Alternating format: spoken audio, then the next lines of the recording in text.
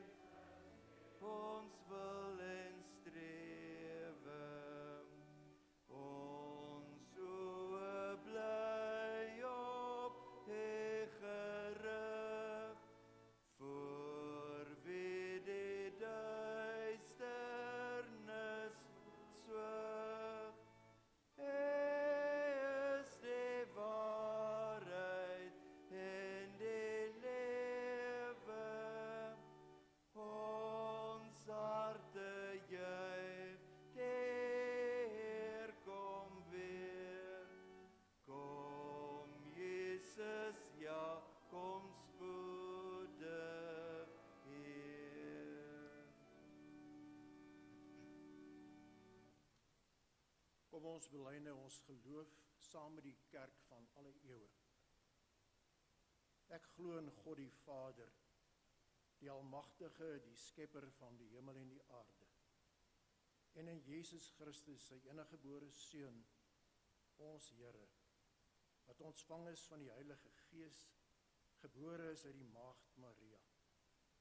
Wat gelei het onder Pontius Pilatus, gekruisig is, gesterf het en begrawe is en ter helle neergedaal het. Wat op die derde dag weer opgestaan het uit die dode, wat opgevaar het na die hemel en sit aan die regterhand van God, die almagtige Vader, van waar hy sal kom om te oordeel die wat nog lewe en die wat reeds gesterf het. Ek glo in die Heilige Gees. Ek glo heilige algemene Christelike kerk gemeenskap van die heiliges, die vergifnis van sondes, die wederopstanding van die vlees en 'n ewige lewe. Amen. Kom ons sing as skuldbelydenis uh vonk 281 vers 1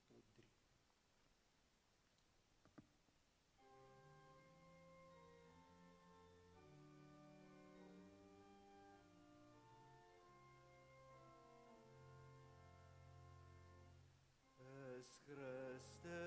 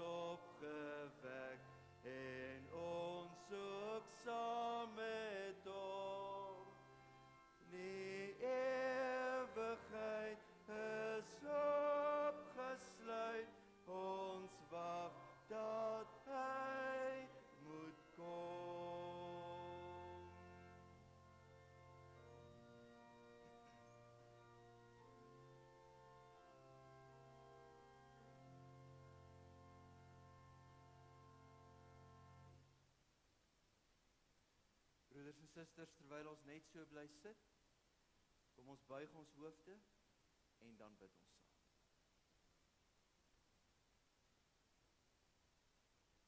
O Here, onsse Here.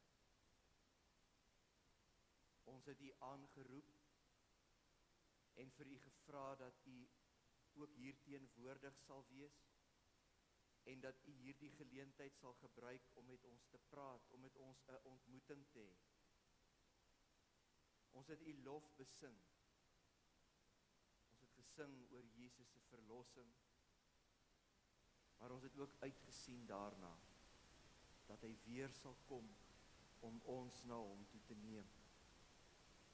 Ons het ons geloof bely saam met die kerk van alle eeue. Ons het gehoor wat U wil vir ons lewe is. O Here, in hierdie ontmoeting met U vanoggend. Hierdie ontmoeting wat plaasvind as ons U woord hoor, maar ook hierdie ontmoeting wat plaasvind as ons saam aan die tafel gaan aansit. Hierdie ontmoeting raak ons tot in ons diepste. Hou ons gedagtes vas, Here. Laat ons hoor wat U vir ons wil sê. Wat dit vir ons lewe beteken. En laat ons as ons hier uitmekaar gaan met 'n nuwe perspektief met 'n nuwe fokus ons lewe sal gaan leef omdat ons u volgelinge is op pad na die ewigheid. Amen. Broeders en susters, ons staan nou einde se kant toe met ons disippelskap jaartema van volg jy my. En ons het aan die begin geleer wie hierdie Jesus is wat ons roep en wat die konsekwensies ook daarvan is. En ons het in die lydenstyd gehoor dat dat ons ons kruis moet opneem en dat ons Jesus moet volg op pad na sy kruis toe. Nadat ons die prys wat dit vir ons as gelowiges gaan vra bereken het. Ons moet soos hy bereid wees om onsself en ons eie agendas te verloon en die pad van gehoorsaamheid en opoffering te stap soos hy. Maar na die Paastyd het ons besef dat ons volg nie bloot vir Jesus op pad na sy kruis toe nie. Ons volg die opgestane Here. En dit ons self ook vanuit daardie oorwinning kan en moet leef en dat die lewende Christus in hierdie wêreld deur ons verteenwoordig moet word. En toe Pinkster aanbreek, het ons geleer dat ons hierdie roeping van Christus nie uit ons eie krag hoef aan te pak nie. Want ons is volgelinge wat gevul word, wat bemagtig word, wat toegerus word deur die Gees van God. En toe het ons na daardie eerste volgelinge van Jesus gaan kyk. Die disippels. En ons het by hulle geleer hoe ware volgelingskap lyk en wat dit ook vir ons in ons lewe kan beteken. Ons het veral gesien dat hierdie gewone mense, mense soos ek en jy, die opgestane Here ontmoet en dan vervul word deur sy gees wat hulle in staat stel om hulle buitengewone roeping op te neem en Jesus te gaan verteenwoordig in hierdie harde wêreld. Maar daar is nog enkele tree wat ons moet gee voordat ons die jaar afsluit. Want ons moet nog een ding leer en besef. Ons volg die opgestane Here nie net vir hier en nou nie. Maar ons is alvolgend op pad na die ewigheid. As Paulus vir die gemeente in Korinte skryf oor oor wat hy as die hart van die evangelie sien, dan skryf hy in die eerste 11 verse van 1 Korintiërs 15. Ek herinner julle, broers, aan die evangelie wat ek aan julle verkondig het en wat julle ontvang het en waarin julle ook gefestig staan. Deur die evangelie word julle ook gered as julle vashou aan die boodskap soos ek dit aan julle verkondig het. As julle aan iets anders vashou, het julle te vergeefs tot geloof gekom. Die belangrikste wat ek aan julle oorgelewer het en wat ek ook ontvang het is dit. Christus het vir ons sondes gesterf volgens die skrifte. Hy is begrawe en op die 3de dag opgewek volgens die skrifte. Hy het aan Sefas verskyn, daarna aan die 12 en daarna aan meer as 500 broers te gelyk van wie sommige al dood is maar die meeste nou nog lewe. Daarna het hy aan Jakobus verskyn en toe aan al die apostels. Heel laaste het hy ook aan my, die ontydige geborene verskyn. Ek is immers die geringste van die apostels en is nie werd om 'n apostel genoem te word nie, omdat ek die kerk van God vervolg het. Maar deur die genade van God is ek wat ek is. Sy genade aan my was nie te vergeefs nie. Inteendeel, ek het harder gewerk as hulle almal. Eintlik was dit nie ek nie, maar die genade van God wat by my is. In elk geval, wat ek is of hulle, dit is wat ons verkondig en dit is wat julle geglo het. Ons gaan net eers tot hier lees. Eintlik is hierdie so 'n paar inleidingssinne waardeur Paulus gereed maak om om een van sy belangrikste argumente met die gemeente te deel. Hy maak dit duidelik dat dat Jesus se sterwe vir ons sondes en sy opstanding, sy oorwinning, die sleutelgebeure, die kruks is van die evangelie. Daarom is dit vir my baie spesiaal dat dat ons nagmaaltafel as dit ware gespan word tussen die venster van die kruisiging en die venster van die opstanding. Want dis die twee sleutelgebeure, dis die hart van die evangelie. En dis presies wat hy en die ander disippels ook verkondig het. Dis waaroor dit gaan. En dis die gebeure wat werklik 'n verskil in mense se lewens kan maak. En Paulus probeer dan om as dit ware vir hierdie gemeente 'n lysie van getuies te gee wat wat hulle as betroubaar sou ag om hierdie waarheid van sy woorde te bevestig. Dis mense wat hulle kan gaan vra oor die opstanding. Dis mense wat meestal met die skryf van hierdie brief nog lewe en wat jaar in en jaar uit daarvan getuig het dat hierdie groot gebeurtenis ook hulle lewe verander het. En almal in hierdie lysie wat hy opnoem is mense wat vir Jesus na sy opstanding maar voor sy hemelvaart gesien het. Behalwe Paulus self wat eers later op sy pad na Damaskus toe die opgestane Here ontmoet het. En net soos dit sy lewe en sy beskouings ingrypend verander het, so behoort dit ook elke gelowige se lewe te verander. En dan gaan hy verder deur deur meer te sê oor die betekenis van Jesus se opstanding. Die betekenis daarvan vir die werk van die kerk, vir mense se lewe en hulle geloof. Ook vir hulle geloof te midde van die aanskoue van die dood. Ons lees vers 12 tot 26. As ons dan verkondig dat Christus uit die dood opgewek is. Hoe kan party van julle nog beweer dat daar geen opstanding van die dooies is nie? As daar geen opstanding van die dooies is nie, beteken dit dat Christus ook nie opgewek is nie. En as Christus nie opgewek is nie, is ons prediking sonder inhoud en julle geloof ook sonder inhoud. Verder sou dit beteken dat ons vals getuienis oor God afgelê het omdat ons teen God ingetuig het dat hy Christus opgewek het. As dit dan waar is dat die dooies nie opgewek word nie, het hy Christus ook nie opgewek nie. As die dooies nie opgewek word nie, is Christus ook nie opgewek word opgewek nie. En as Christus nie opgewek is nie, is julle geloof waardeloos en is julle nog gevange in julle sondes. Dan is ook die wat in Christus gesterf het, verlore. As ons net vir hierdie lewe ons hoop op Christus vestig, is ons die bejammeringswaardigste van alle mense. Maar nou Christus is opgewek uit die dood as eersteling uit die wat gesterf het. Aangesien die dood deur 'n mens gekom het, het die opstanding van die dooies ook deur 'n mens gekom. Net soos almal deur hulle verbondenheid met Adam sterf, so sal almal in Christus lewend gemaak word. Maar daar is 'n volgorde. Die eersteling is Christus.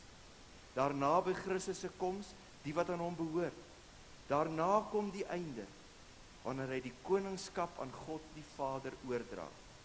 Nadat hy elke mag, elke gesag en elke krag vernietig het. Hy moet as koning heers totdat die Vader al sy vyande aan hom onderwerp het. Die laaste vyand wat vernietig word is die dood lees net tot sover.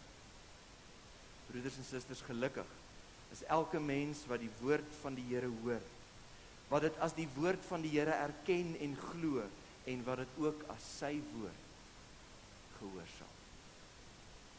Amen.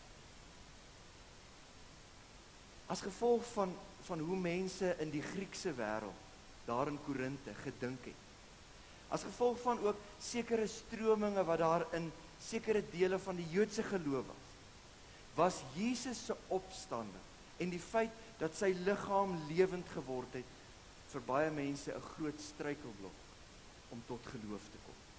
Maar verder het sommige mense wat selfs die opstanding van Jesus aanvaar het, nie die uiteindelike opstanding van gelowiges aanvaar nie.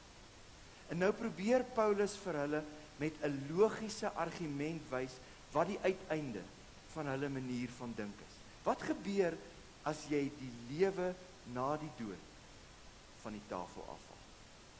Hy probeer sê as daar nie 'n opstanding vir die gestorwe gelowiges is nie, dan kan jy net sowel sê dat Jesus ook nie opgestaan het.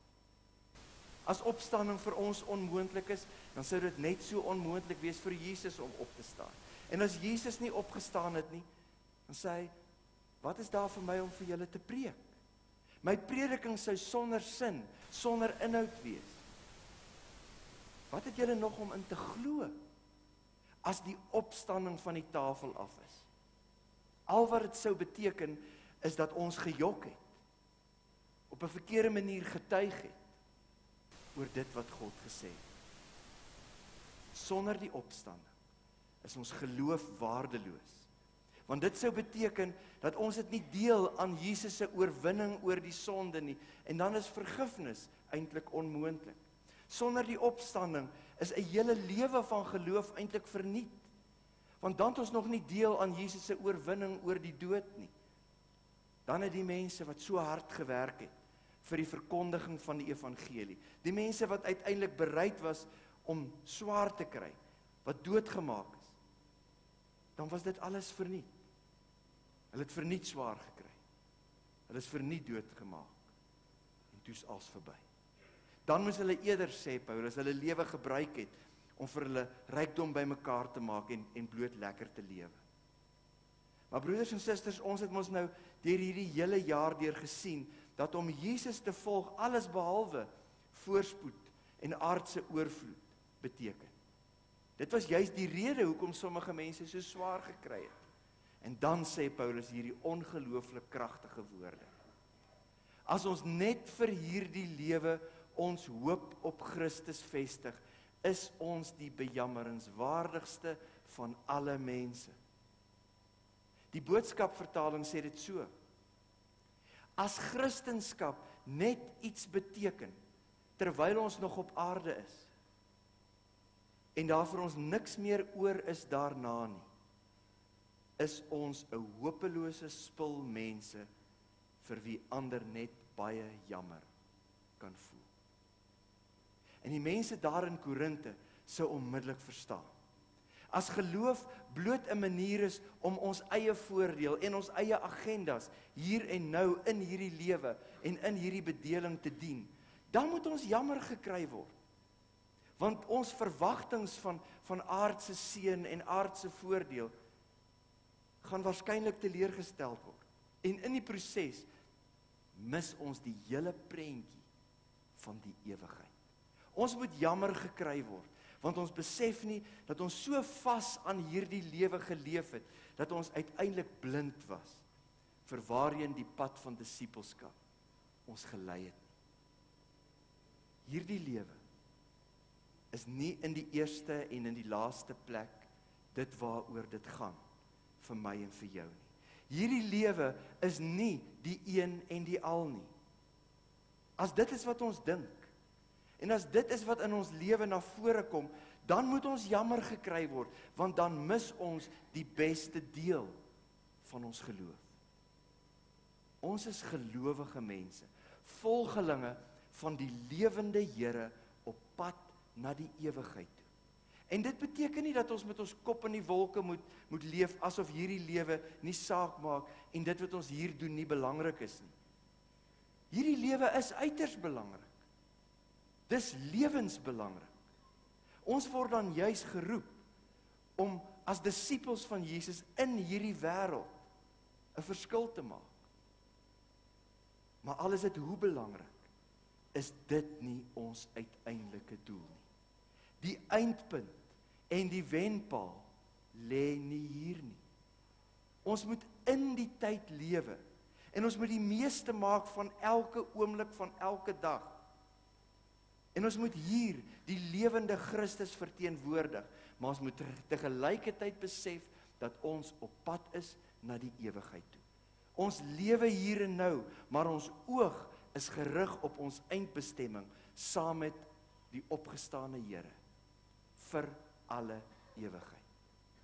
Ons leef nou met vreugde en met volheid, dankbaar vir elke dag wat vir ons gegee word, maar ons doen dit met die wete dat die heerlikheid wat God vir ons beloof het eers na hierdie lewe volledig gaan deurbreek.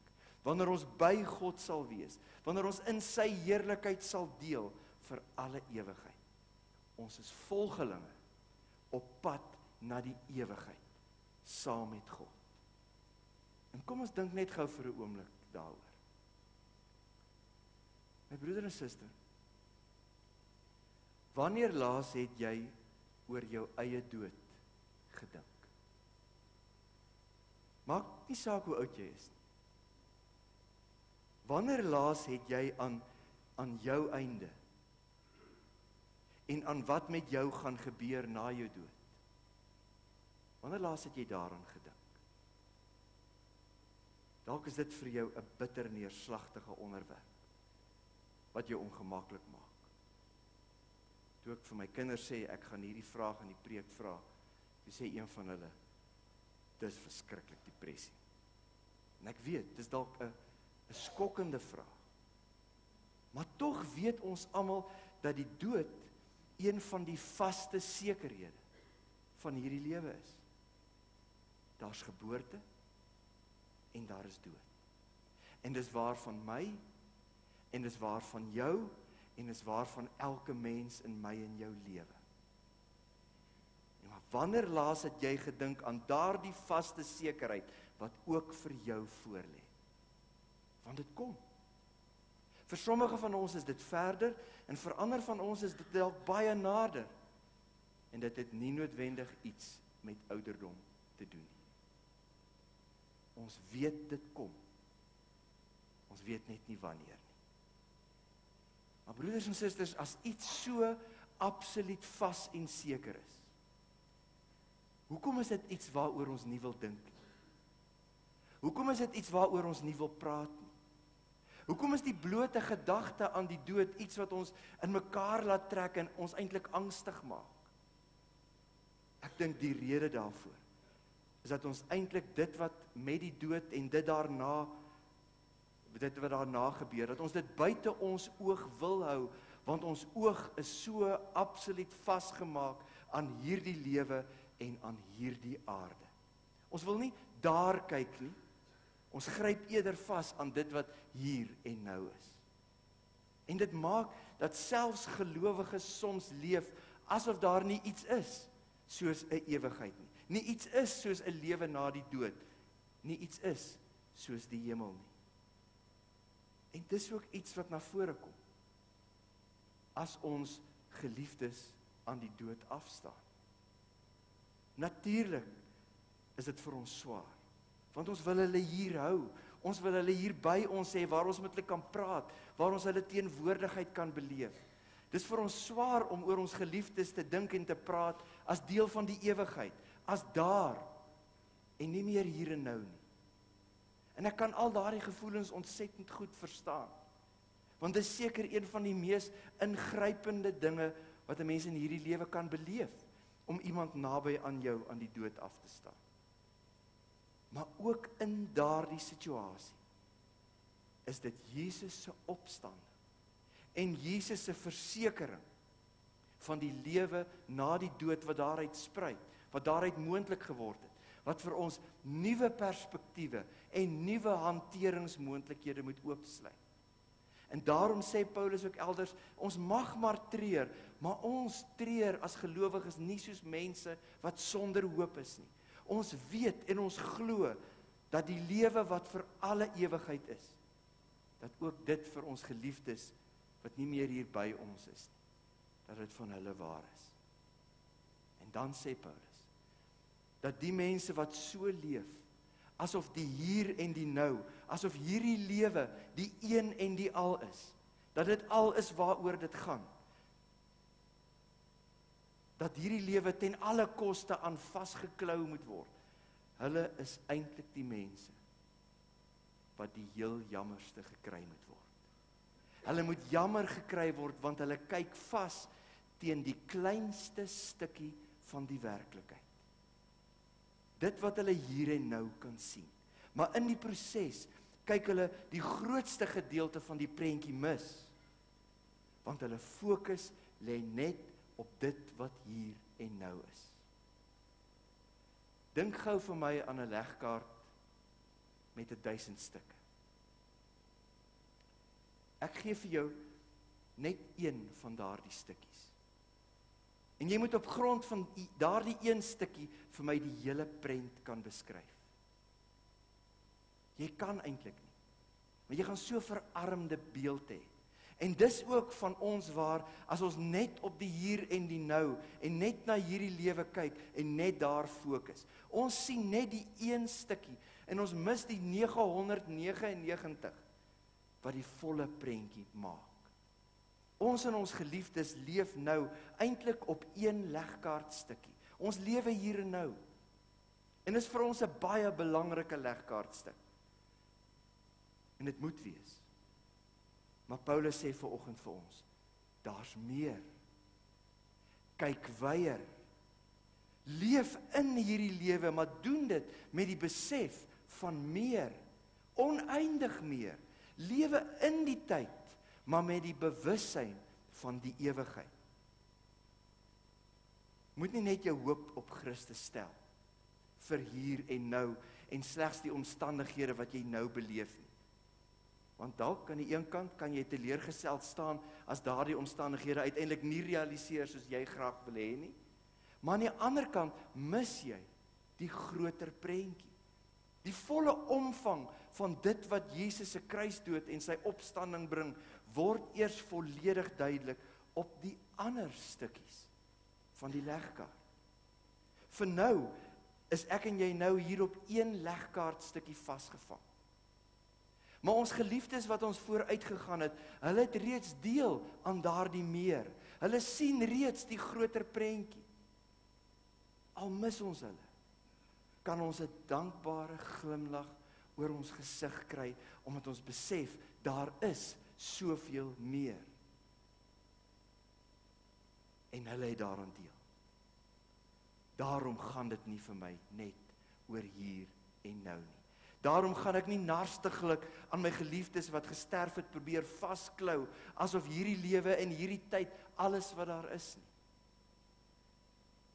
En in die proses in dit alles wil die nagmaal ons help om ook die meer die groter prentjie raak te sien. Ek dink dis een van die redes waarom Jesus ook die nagmaal ingestel het. As hy die nagmaal instel, dan sê hy dat ons op so 'n manier sy dood en opstanding moet vier totdat hy weer kom. Hy gee met ander woorde ook 'n toekomsperspektief aan die nagmaal. As ons hier om die tafel sit, dan moet ons eintlik besef dat daar meer is as wat ons hier kan sien. Maar hier aan die tafel word die deur na die ewigheid vir ons so op 'n skreefie oopgemaak sodat ons kan besef dat ons en ons geliefdes eendag aan die bruilofsmaal sal kan aansit in die hemel. Die nagmaal wil vir ons sê, onthou, hier en nou is nie al nie. Hierdie lewe is nie alles nie. Hierdie lewe is maar een van die stukkies van 'n baie groot legkaart. Daar's meer. Daar's oneindig meer. En as jy vanoggend hier van die tafel af opstaan, gaan leef dan jou lewe as volgeling. As feesganger op pad na die ewigheid toe. Amen. Broeders en susters, kom ons luister nou saam na die formulier vir die nagmaal. Geliefdes in ons Here Jesus Christus. Die Here Jesus het voor sy dood saam met sy disippels brood en wyn geneem en gesê dat hulle dit moet gebruik tot sy gedagtenis. Daarom vier ons die nagmaal. Die nagmaal is een van die kerk se twee sakramente tot versterking van ons geloof. Met die tekens van brood en wyn verseker Jesus Christus ons deur sy gees van ons gemeenskap met God en met mekaar. By die tafel van die Here is ons ook saam om God te verheerlik. Ons glo dat die Here deur sy Gees by hierdie feesmaal teenwoordig is. Wanneer ons die brood en wyn ontvang, herinner dit ons dat ons verlos is deur die dood en opstanding van Jesus Christus. Deur geloof in Jesus Christus het ons saam met hom gesterf en staan ons saam met hom op tot 'n nuwe lewe. En hoor dan die volgende paragraaf vir vanoggend veral.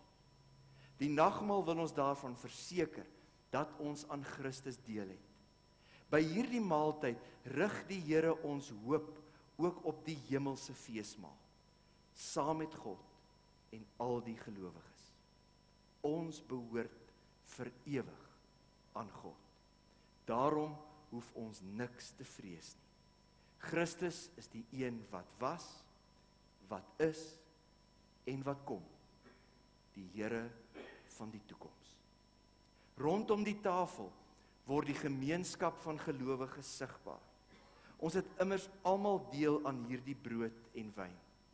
Die liefde wat God aan ons skenk, bind ons aan mekaar. Voor ons by die tafel aansit, moet ons onsself eers ondersoek en afvra of ons bereid is om deur ons doen en late hierdie band van liefde te versterk.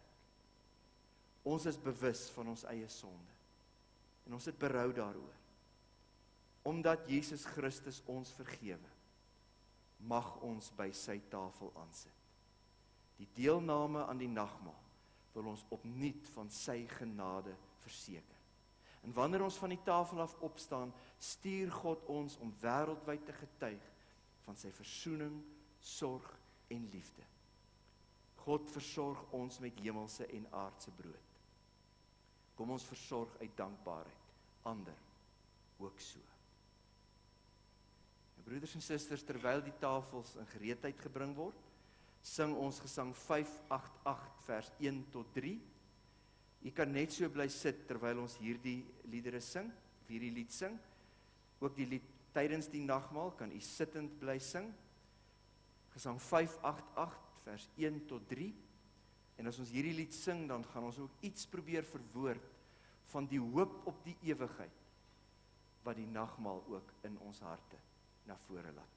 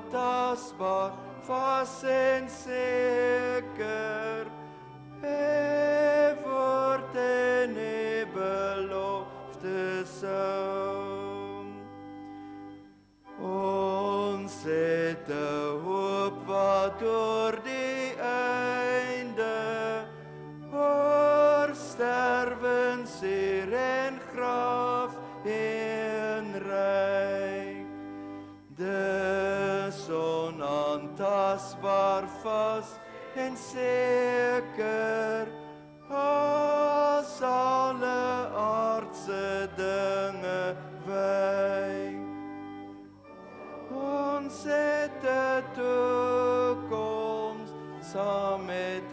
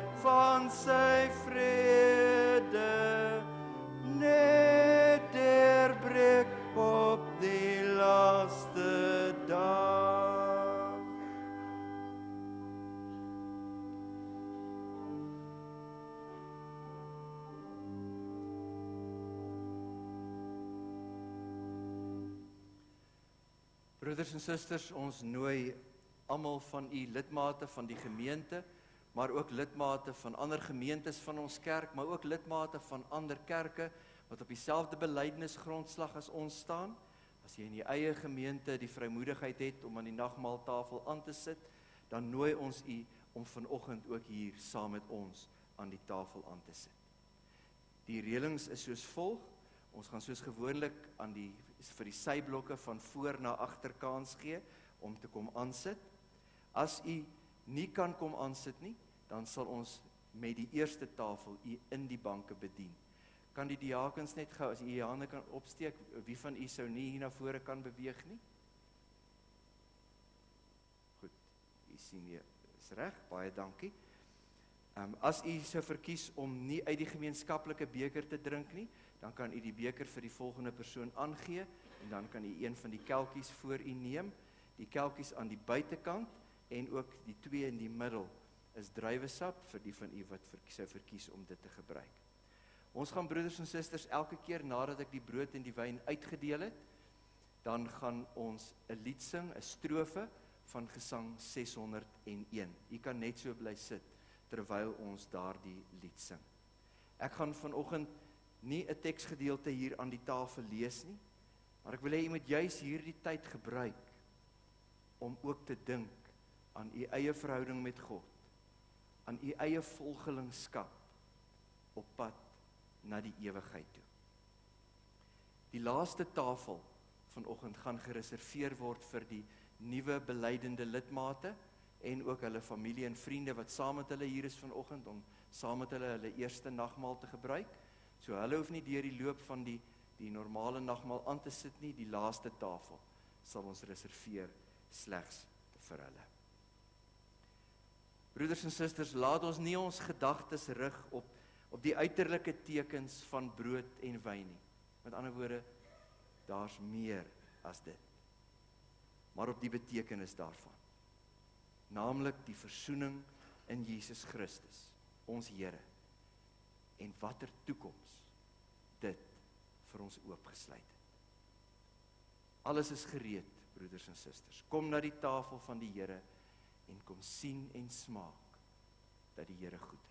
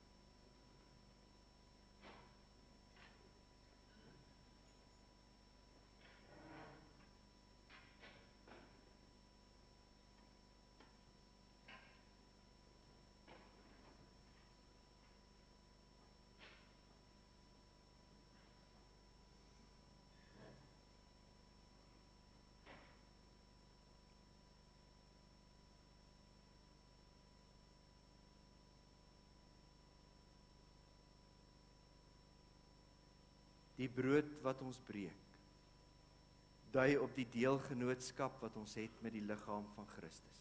Neem eet almal daarvan.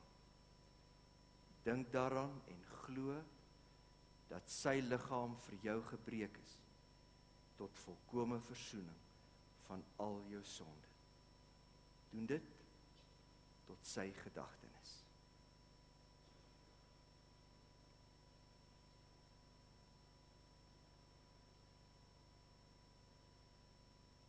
Die beker van danksegging waarvoor ons die Here dank. Dui op die deelgenootskap wat ons het met die bloed van Christus. Neem. Drink almal daaruit. Dink daaraan en glo dat sy bloed vir jou gevloei het tot volkomme verzoening van al jou sonde. En onthou, vanoggend wil die nagmaal ook vir jou sê. Jy is 'n kind van God. Jy's 'n volgeling op pad na die ewigheid toe. Leef nou met jou oog gerig op die hemel waar jy ook sal aansit by die feesmaal van die lam.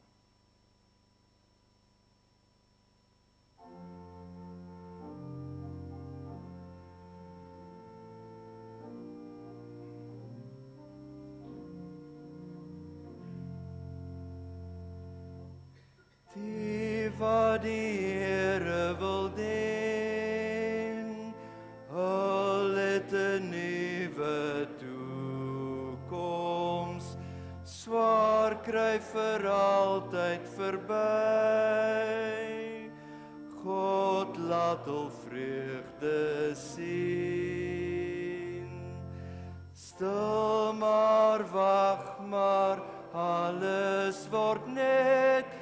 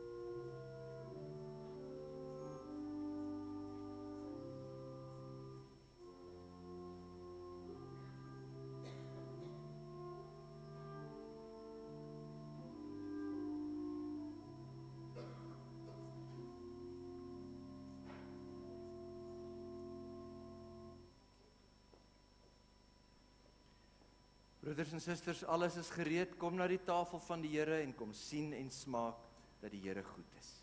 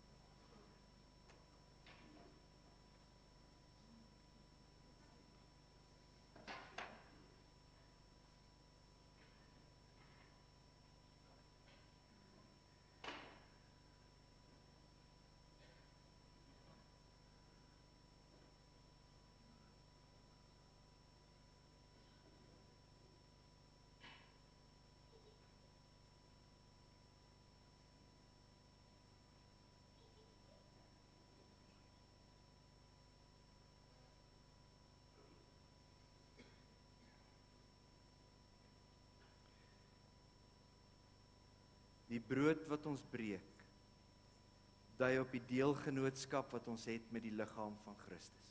Neem eet almal daarvan. Dink daaraan en glo dat sy liggaam vir jou gebreek is tot volkomme verzoening van al jou sonde. Doen dit tot sy gedagtenis.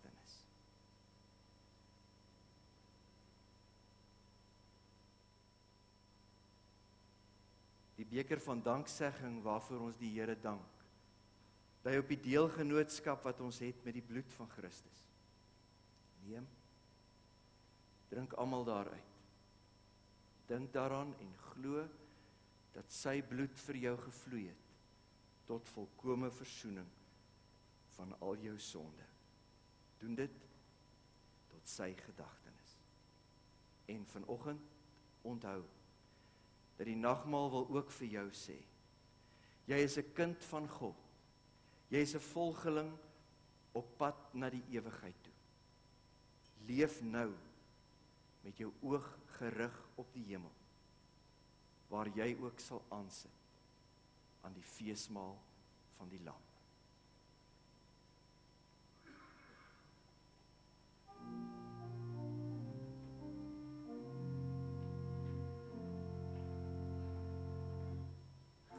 Gister se seer is verby. Gister se stryd vergeete. Wolwe en lammers by saam. Vrede sal altyd bly. Stil maar wag maar alles word net hemel en die aarde. Stil maar wag maar alles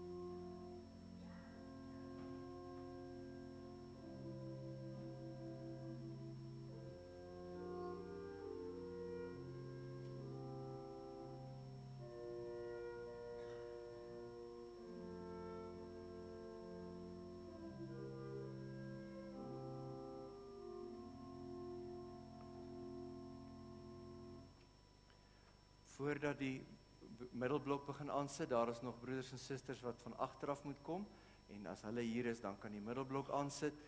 Broeders en susters, alles is gereed. Kom na die tafel van die Here en kom sien en smaak dat die Here goed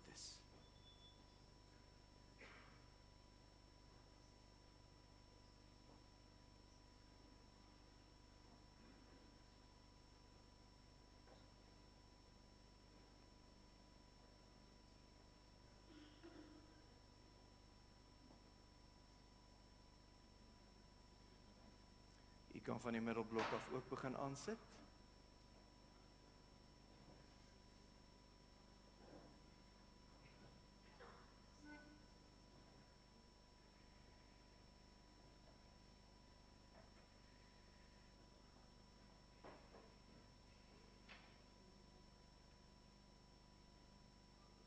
Hier is nog heelwat sitplekke broeders en susters.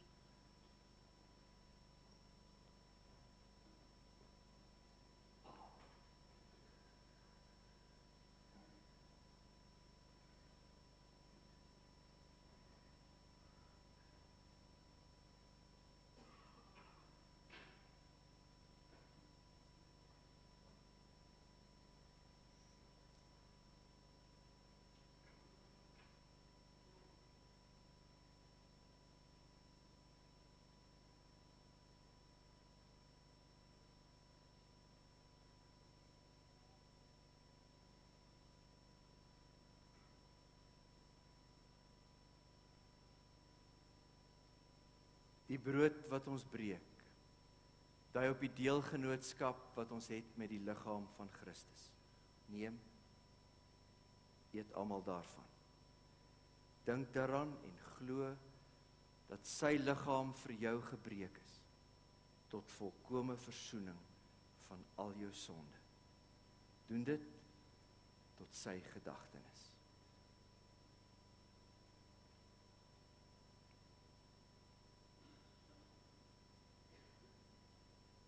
Die beker van danksegging waarvoor ons die Here dank. Lê op die deelgenootskap wat ons het met die bloed van Christus. Neem drink almal daaruit. Dink daaraan en glo dat sy bloed vir jou gevloei het tot volkomme verzoening van al jou sonde. Doen dit tot sy gedagtenis. En onthou vanoggend wil die nagmaal ook vir jou sê. Jy's 'n kind van God. Jy is op pad na die ewigheid toe. Leef nou met jou oog gerig op die hemel waar jy ook sal aansit aan die feesmaal van die lam.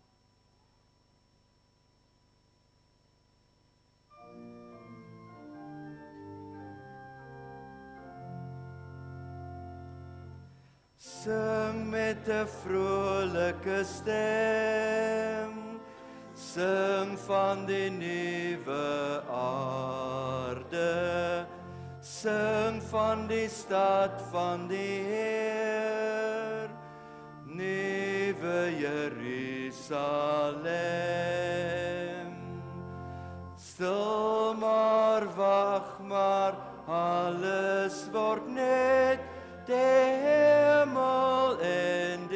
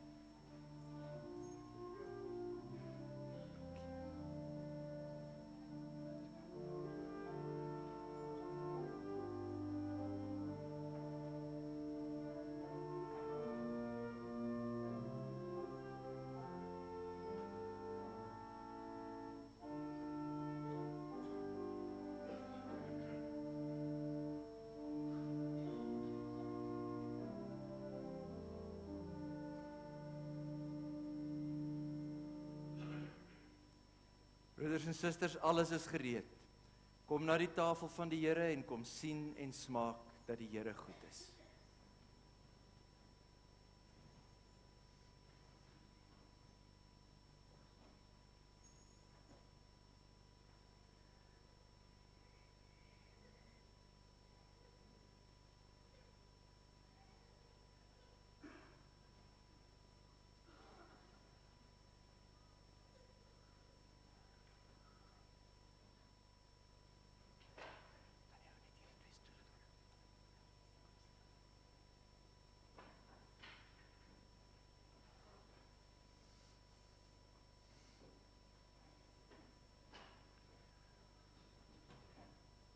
Hierdie sal dus ons laaste tafel wees buiten vir die tafel van die katkesante en en hulle families.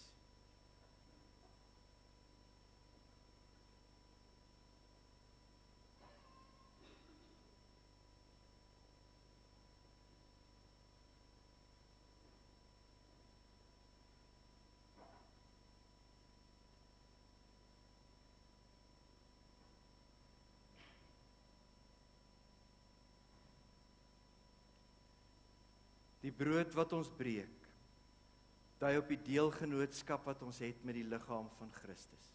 Neem Eet almal daarvan. Dink daaraan en glo dat sy liggaam vir jou gebreek is tot volkomme verzoening van al jou sonde. Doen dit tot sy gedagtenis.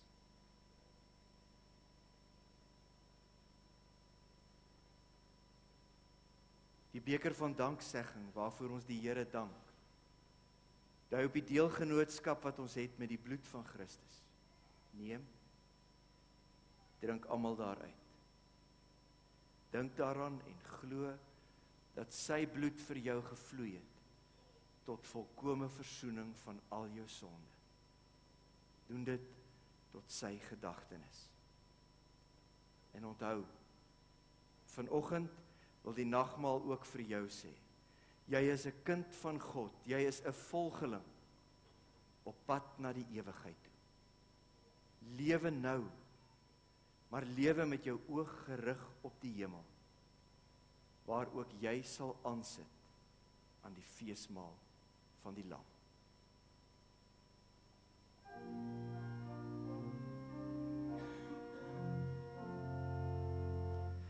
Elkeen wat dors het mag kom. Drink die fontein se water. God kom dan self by ons woon. Ons is 'n volk vir hom. Stil maar wag maar alles word net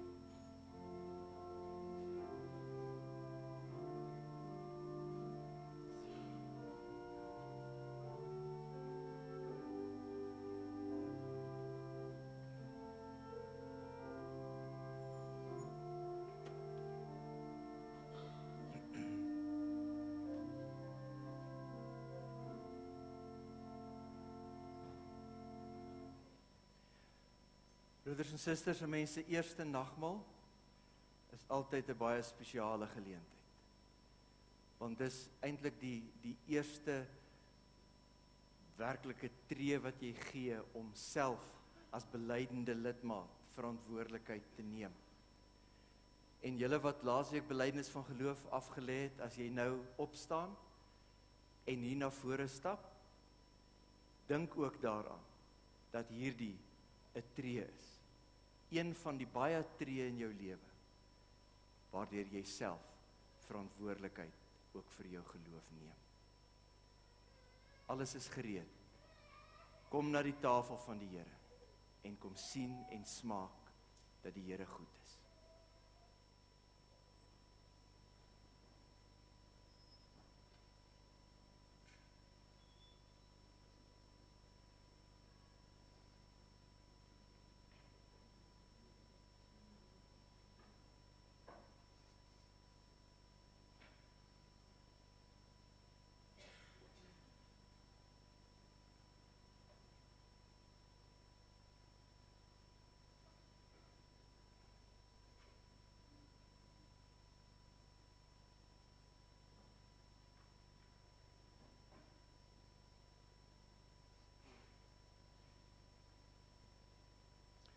As daar van die diakens is wat self nog nie nagmaal gebruik het nie, kan u self ook aansit.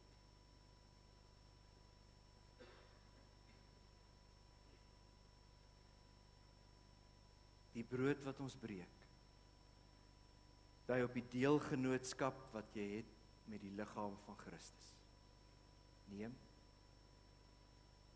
eet almal daarvan. Dink daaraan en glo dat sy liggaam vir jou gebreek is tot volkomme verzoening van al jou sonde. Doen dit tot sy gedagtenis.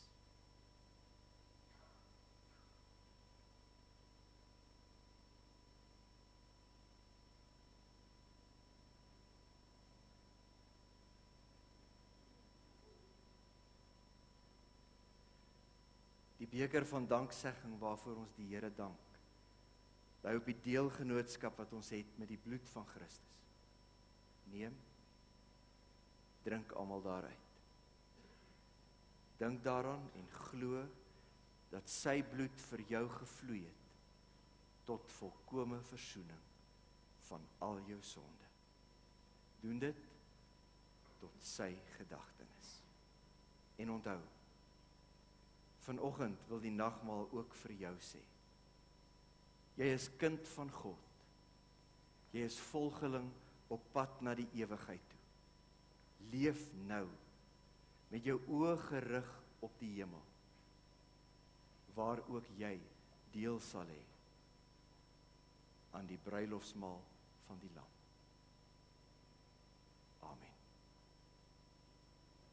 Amen.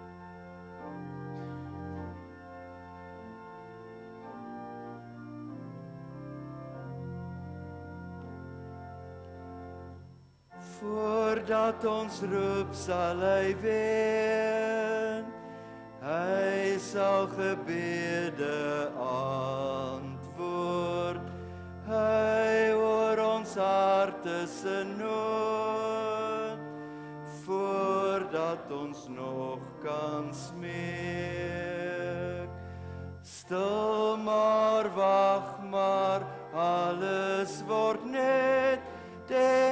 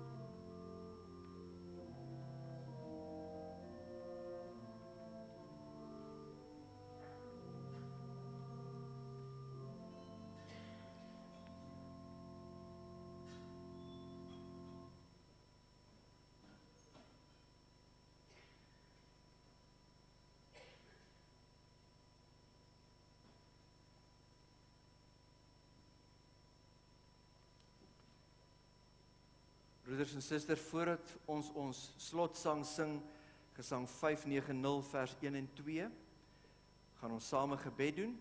Na die gebed sing ons sonder aankondiging gesang 590, dan ontvang ons die seën van die Here en dan sing ons as wegsendingslied gesang 595 se tweede vers. Kom ons staan nou almal vir ons slotgebed.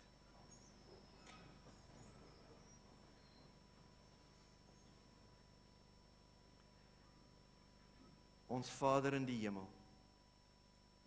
Ons Here Jesus Christus. En u Gees wat hier by ons teenwoordig is. Deur u woord het u met ons gepraat. Deur die nagmaal het u ons aangeraak. U het ons oë oopgemaak. So 'n skreefie vir ons die toekoms gewys waar ons saam met u aan die tafel kan aansit by die feesmaal van die lam. Ons verstaan van die toekoms so min, Here. Maar ons weet dis waarheen ons op pad is. Al verstaan ons dit nie, hou dit vir ons 'n realiteit in ons gedagtes. Dat ons nie so vasgevang raak aan hierdie lewe en dit wat in hierdie lewe van ons gevra word en wat ons moet doen dat ons uiteindelik die bejammeringswaardigste van alle mense is, want alwaarvoor ons op U hoop is net om deur elke dag te kom. En ons verloor die uitsig op die ewigheid. Wys vir ons die prentjie. Al is dit asof ons in 'n dowwe spieël kyk. Maar laat ons besef ons is op pad na U toe. Maar o Here, ons weet ons mag ook met ons aardse behoeftes na U toe kom. Ons mag ook met ons siekte en ons hartseer en ons bekommernis, ons frustrasie, ons moegheid ons mag ook daarmee na U toe kom. En ons weet ons mag ook vir U vra dat U uitkoms sal gee. Of dit nou is in in individue se lewe of dit is in in gemeenskappe in ons land en in die wêreld. Ons bid vir reën, Here. Ons bid dat U vir ons sal sal sorg ook deur hierdie aarde nat te maak sodat daar kos kan wees sodat daar lewe kan wees maar te midde van dit alles hou ons oog gerig op u en laat ons mekaar ook voortdurend daarop wys dat alles nuut sal word dat die dood en die hartseer en die siekte finaal verslaan sal word as die nuwe aarde en die hemel deurbreek. Amen.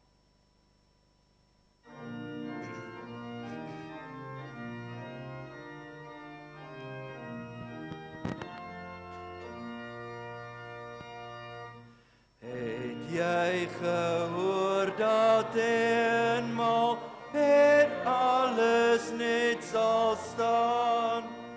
Dat Jesus by sy weerkoms die dood finaal verslaan. Die nuwe aarde hemel verskyn met God se seën het jy gehoor en glo jy als deur jou twyfel in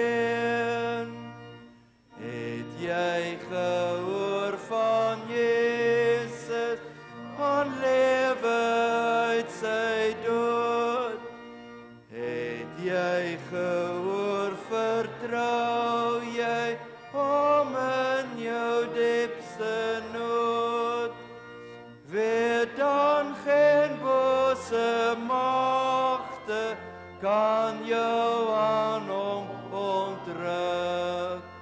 Op die geloofsverwagting skenk God volmaak geluk. Kom ons gaan hier uit mekaar. En ons gaan stap die pad op pad na die ewigheid toe. Met die wete dat die Here sy seënende hand oor ons elkeen hou. Die genade van ons Here Jesus Christus en die liefde van God sal by elke een van julle wees en bly. Saam met die teenwoordigheid van die Heilige Gees in julle lewe.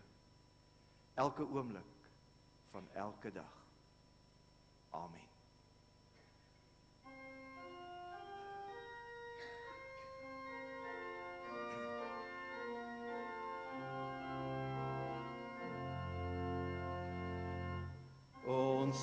Wag, ons weet ek kom gewis, ons oor van kryg gerugte.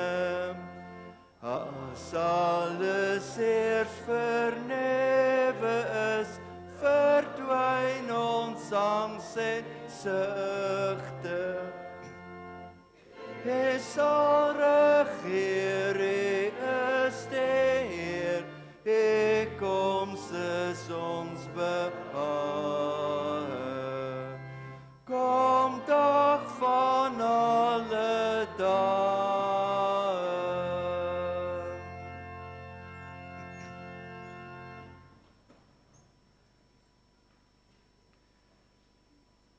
Broeders en susters, net die volgende afkondigings. As daar enige nuwe lidmate is, mense wat graag by die gemeente wil inskakel, kan jy net na die tyd hier na die saal toe kom en in die linkerkantste agterste hoek sal ons u inligting kry. Omdat dit nagmaal is vanoggend, is daar nie tee nie. Ehm um, maar ons hoop ons kuier daarom wel 'n bietjie saam met mekaar. Lief en leed in ons gemeente. Ja, broeders en susters. Ek is verbaas die kerk is so vol vanoggend. Dan die Sunny Duisel is in Little Company of Mary en dan ehm um, Pieter Koortse om word môre geopereer. Ons sê vir hom baie sterkte. Ons is bly dat hom hier is en ehm um, ons glo dat alles baie goed sal afloop. Dan is was tannie Sari Botha in die ehm um, hospitaal. Sy's gelukkig by die huis, sterk sy aan. Harry Lester het in hierdie afgelope week 'n uh, 'n vyfvoudige hartomleiding ondergaan. Dit gaan met hom baie goed. Mense kan nie glo hoe vinnig mense deesdae regkom nie. Ons is baie dankbaar daaroor. En ehm um, dan ons sekretariële beampte Diana Henry ehm um, is van hierdie week af weer terug op kantoor, maar sy moet ook vir vir bestraling en vir chemo gaan nadat sy die operasie ondergaan het. Dan is ons baie bly Anita het ek hier gesien. Ek dink sy staan ergens by 'n deur. Anita en haar familie het 'n groot skrik gehad oor die afgelope tyd. Hulle toetse gedoen en hulle was bang dat daar iets kwaadaardigs is en dit lyk baie positief. En daarom is ons baie dankbaar dat dit dat dit met jou ook so goed gaan, Anita. Dan het gaan Estel Rankin vir 'n operasie in hierdie week. Ehm um, Michiel Kreer het 'n operasie gehad. Is hy terug by die huis? Hy's terug by die huis. Ons is baie bly daaroor. Dan ehm um, Claudie Marnewiek en Annemart Oosthuizen, Dominee Teens Botha ontvang op hierdie stadium almal chemoterapie. Ons sê vir hulle baie sterkte. Een van ons jonger lidmate, Corney Kotse, word tuis behandel vir vir leukemia. En dan gaan dit uh, op hierdie stadium nie so lekker met tannie Christine vir viers nie. Ons uh, vra dat die vir haar ook sal voorbidding doen. Philip van der Merwe was in die intensiefie afgelope week. Ons is bly hy's terug by ons en tannie Elsa Tron is nog in in Little Company of Mary. Ons wens ook vir haar 'n spoedige beterskap toe. Maar dan wil ons graag baie geluk sê vir vir Donay. Sy's nou hier agter by die kinderkerk. Ek hoop hulle sê dit daar ook. Dit is nou 'n um, 'n wonderlike prestasie wat sy behaal het. Sy was sy's nou graad 7. Graad 7. Sy het hierdie so 2 weke gelede het sy aan die junior swem kampioenskappe, die Afrika kampioenskappe in Kaïro gaan deelneem. Sy het 4 goue medaljes en 4 silwer medaljes los geswem. So ehm um, ek hoop vir julle paar die borgskappe vir swemmers vroeg verbeter. Uh, dit sal wonderlik vir julle wees. Dan in hierdie week is daar weer Bybelstudie. Ehm um, Dinsdag aand, Woensdagoggend oor die tema van vanoggend se preek. En dan in hierdie komende week, Vrydag en Saterdag, is daar die uitreik van die dames. As daar enige van die dames is wat nog wil saamgaan, kyk net 'n bietjie op die blaadjie en laat weet u die persone wat in beheer is van elke een van die verskillende uitreike. Ons het ongelooflike reaksie van die gemeente gehad. Ehm um, ek dink op hierdie stadium moet daar uit die gemeentekas uit vir alles wat gedoen moet word, 'n paar waslappe gekoop word en nog 'n bietjie hande room. En wat was die derde ding wat jy gesê het? Onderarm antiperspirant antiperspirant. Maar vir die res het ons alles geskenk gekry. Ons sê vir baie baie dankie daarvoor. Maar kom ons maak dit nou net baie goed wat ons gaan aflewer nie. Ons moet ook baie mense hê om die goed af te lewer. Asseblief help vir ons daarmee. En dan broeders en susters het die Kersmark 'n 'n pragtige totaal gehad. Dit wat uiteindelik na die gemeente se kant toe kom, um, is hier in die omtrek van 40000 rand wat in die gemeente se kas inkom.